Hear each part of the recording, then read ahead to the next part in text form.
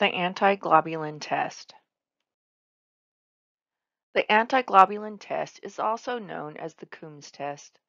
An anti-human globulin, or AHG, is an antibody that is against human antibodies. The source is a non-human species immunized with human globulins such as IgG or complement. So we inject the antibody or complement into an animal and the animal makes anti-human antibodies. These antibodies can bind to either free antibodies or to those bound to red blood cells. IgG are termed non-agglutinating or incomplete antibodies because they are too small to directly agglutinate sensitized red cells the way IgM antibodies do. When we say sensitized, we mean that the cell is coated with antibodies or complement. Before this test was created, only the IgM antibodies to red cells, such as those of the ABO system, could be detected. To be able to agglutinate red cells coated with the smaller IgG antibodies, we need an additional step. In 1946 to 40, uh, sorry, 45 to 46, Coombs and coworkers used this method to detect the Rh antibodies against the D antigen. Later, the test was adapted to detect antibodies to additional blood groups. Coombs developed a way to create the anti-human globulins. This is why we used to call it the Coombs test. We can use the reagents to detect red cells sensitized with IgG alloantibodies, that is, antibodies to other people's antigens. We can use it to detect autoantibodies, that is, antibodies that react to the patient's own cells. We can also detect cells that are coated with complement components. Some anti-human globulin can bind to both antibodies and complement, while other reagents will bind one or the other. Monospecific AHG will only bind to one type, and polyspecific will react with multiple types. AHG is able to detect both in vivo and in vitro sensitization of red blood cells. Remember that in vivo means that it occurred within the body. This would mean antibodies have attached to red cells that are inside the body, such as transfused blood that gets coated in patient antibody. This can also occur, occur in newborn infants if the mother has made antibodies that cross the placenta and attach to the baby's cells. In vitro means that we will be attaching the antibodies to the cells in the laboratory test tube. We can use this method to detect antibodies that are in the patient's plasma and can cause complications and transfusion reactions. We can also use this method to detect antigens using reagent antibodies. If we add patient plasma to reagent red cells and the plasma has antibodies that will attach to those cells, we can then add the AHG and agglutination will occur. For cells that are already coated in vivo, this would be a one-step direct antiglobulin test. If we want to detect antibodies that are in the plasma, we need a two-stage procedure or an indirect antiglobulin test. There can be two types of antibodies. First, polyspecific that will react with cells coated with antibodies or complement, anti-IgG and anti-C3d or anti-C3b, all in one reagent. The second type is monospecific, and these will only react with one or the other, either IgG or complement, but not both. These can be antibodies from rabbits or murine, such as mice or rodents. Preparation of AHG. This method was available for many years before we started using monoclonal hybridomas. This procedure is not used as often now. An animal injected with an antigen and then the animal becomes a blood donor to collect the antibodies. The disadvantages are that you have to use the animals with repeat bleeding. It is difficult to get the concentrations just right because it is dependent on the reaction the animal produces. The reagent can detect a reaction with just an antibody, just complement, or both. This can detect many different epitopes on different immunoglobulins. Monoclonal production is from hybridoma technology. The animal is injected, the spleen is removed, and the cells isolated. The cells are fused to a myeloma cell. Then these cells can reproduce and produce antibodies endlessly. Once an antibody secreting clone of cells has been established, Antibody with the same specificity and reaction characteristics will be available uh, almost indefinitely. This allows the production of a consistent, pure, and uncontaminated AHG reagent. The disadvantages is very specific and it may need to be blended with other monoclonal antibodies since some people will not produce all epitopes. Since some antibodies to ABO, Lewis, and Kidd blood group systems can fix complement, we may want to use a polyspecific AHG to detect both. We want the antibodies to be of IgG1 and IgG3 subclasses as other non-agglutinating antibodies are only rarely encountered. We need to be able to detect complement components that may be left on the cells even if the antibody has been released from them. So now, how do we decide if we want to use polyspecific or monospecific AHG in our indirect antiglobulin test? I'm talking about antibody screens, which are performed when someone needs a blood transfusion and we want to make sure that they don't have any antibodies.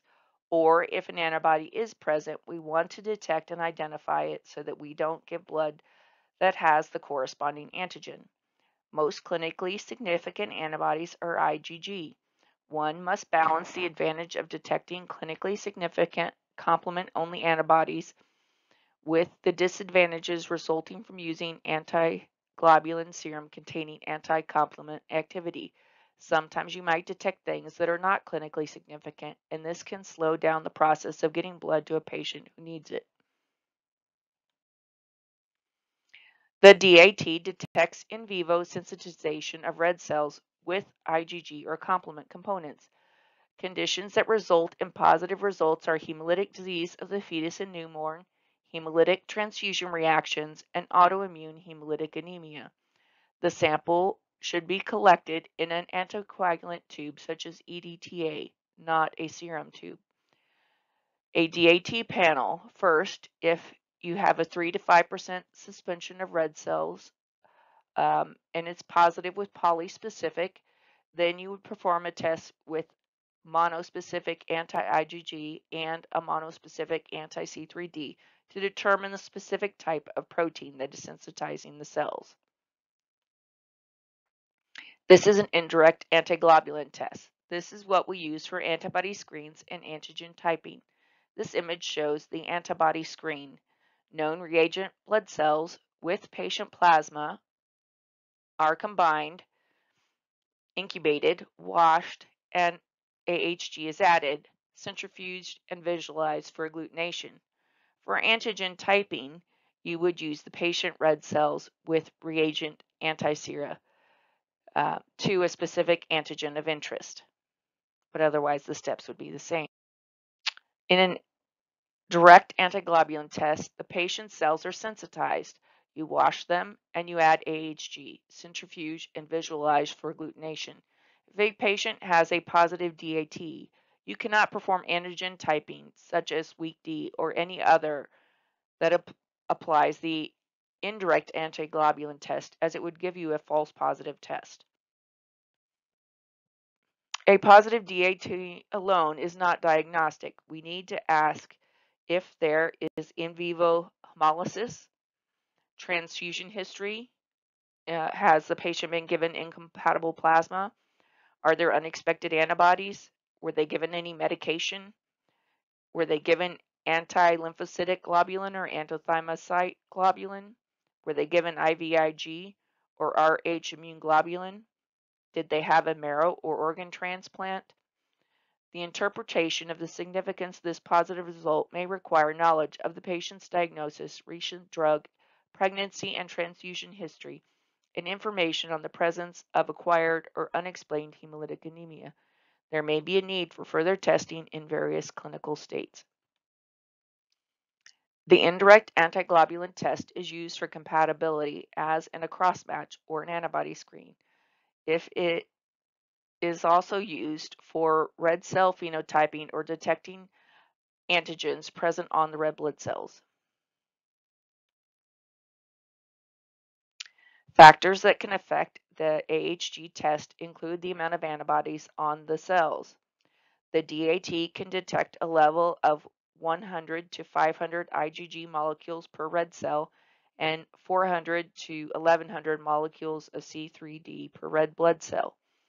For the IAT, there must be between 100 and 200 IgG or C3 molecules on the cell to obtain a positive reaction. An additional factor includes the serum to cell ratio, the medium used such as LIS, albumin, or PEG enhancement media. We use two drops of serum to one drop of 5% red blood cells. Albumin has a 30 minute incubation, LIS a 10 to 15 minute incubation, and PEG is read only at AHG, not at 37. The incubation temperature is 37 degrees. Washing is an important step to remove any immunoglobulins that are not bound to the cells, so the unbound antibodies must be washed away. If the immunoglobulins are free in the supernatant, then they could bind the AHG and the AHG would not be able to bind and cross-link the antibodies that are coated to the red blood cells. This would give you a false negative. We use check cells to determine if washing was adequate. They are added to all negative reactions, then centrifuged, and should show a positive reaction. If the check cells are negative, then the test must be repeated as it is invalid. A check cell is a cell that has antibodies coated on it already. So it's a form of quality control. The most common sources of error in AHG are inadequate washing, non-reactive AHG reagent, which can happen to us in the student labs because we use expired reagents, or failure to add the AHG reagent. All negative antiglobulin test reactions must be checked by the addition of the IgG sensitized check cells. Two automated methods of AHG testing performed at local laboratories include solid phase and gel technology. Solid phase uses a microtiter plate coated with either a known antigen or a known antibody. The gel test is the most commonly used polyacrylamide gel that acts as a trap to prevent agglutinated cells from reaching the bottom.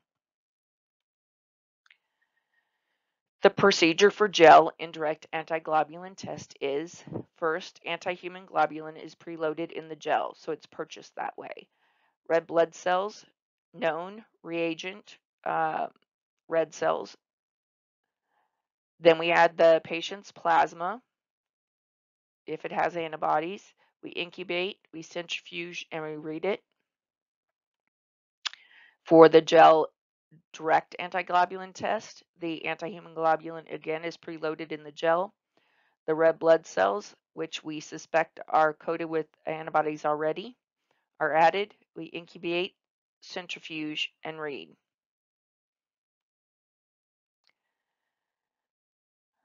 Comparisons of methodologies. Um, our goal is to detect all clinically significant antibodies, both DAT and IAT types, and none of the clinically insignificant antibodies, such as warm and cold reacting autoantibodies. The gold standard for blood bank testing is the tube method. The gel testing is more sensitive but it isn't just more sensitive to the clinically significant antibodies. You could end up detecting more clinically insignificant antibodies. Tube methods are more labor intense and require skilled staff members. Gel can be automated and standardized. Solid phase is more expensive and sensitive than gel.